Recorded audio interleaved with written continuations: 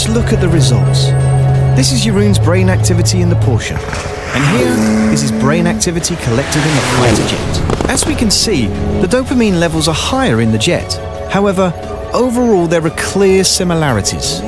For example, in both images, we can see the excitement centers lighting up.